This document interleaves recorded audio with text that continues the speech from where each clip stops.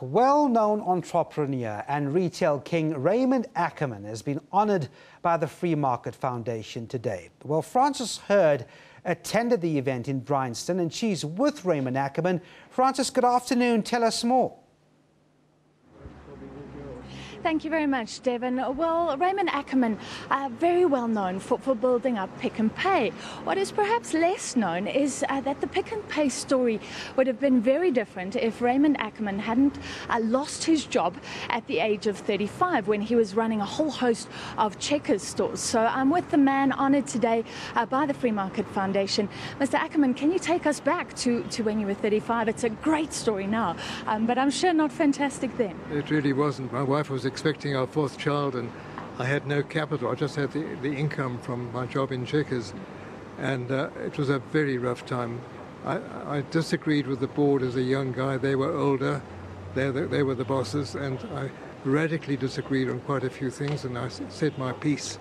And eventually they said to me, You're out. And I had two weeks' salary. Um, I didn't know whether to join another company whether to go back to university, but I had four children, I couldn't afford that. And an American said to me, You need 99% guts and 10% capital.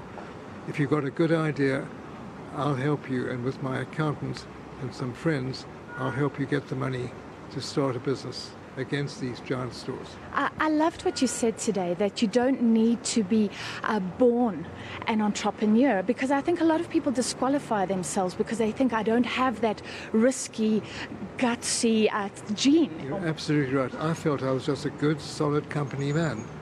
I didn't know that I had that inside me until, frankly, I knew it on the sports field because I used to take chances with my tackling and rugby, but um, when I lost my job and I heard this guy say you need 90% guts, I said, I know I've got it. And I had to take a lot of chances, but it worked. We formed a company, we got people to back us, and uh, we had to go through some really difficult times. But you're not born an entrepreneur. Often conditions occur where you have to either rise up or sink down. I was going to say, what, you, what can you say to young entrepreneurs today?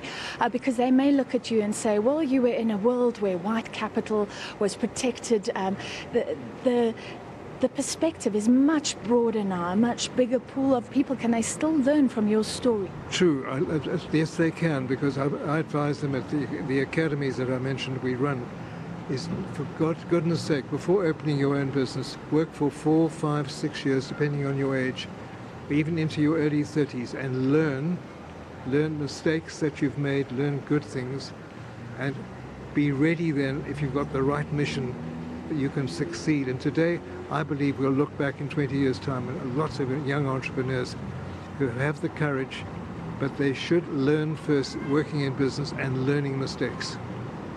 Uh, I hope you're right. And, and can we move to, to retailing? Because uh, somebody was talking about the world you were in when people weren't even trusted with, with trolleys. You had to hand them their goods. Now it's so different. And, and I wonder what you think when Walmart comes in and there's a big focus on supply chains, when the issue is now about the race up uh, into Africa. Is, is retailing different? Can retailers and businessmen still have that, that soul that they used to have? I believe they can. Look, there's going to be a lot of, of home buying that's growing apace as well. But I still believe that in 20 years' time we'll have good, solid stores and shopping centres as well. And I do believe there's a huge growth in Africa and an exciting growth in Africa. And that's all very different from 20 years ago. So I believe that aspiring aspiring business guys have a great opportunity. I'm telling all my grandchildren, 12 of them, if you, if you want to educate, have an education in some universities overseas, come back here. You can make a great success in this country, whatever your field is. I'm really, I believe very strongly in the future of this country of ours, despite all our problems. And, and finally, how do you feel about Pick n Pay? Do you still um, have this fatherly attitude to, to Pick n Pay? And, and things went great for a while, but the, the turnaround, it seems, is materializing. Do you believe that? I do. It's been difficult retiring and not interfering. I give advice, some of which is listened to, some of which isn't listened to, which I can understand. And I'm there every morning and up to about two or three o'clock and then I'm involved with all our social responsibility projects. So I'm very much involved, but not in the day-for-day running of the business. Thank you so much, uh, Mr. Raymond Ackerman. He was joining us uh, just outside the offices of the Free Market Foundation, honoured today and inspiring young entrepreneurs. Back to you in the studio. Well, inspiring indeed. Thanks very much, Francis Herd.